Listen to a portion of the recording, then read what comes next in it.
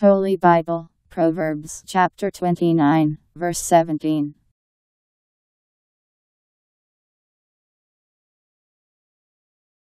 Give your son training, and he will give you rest, he will give delight to your soul.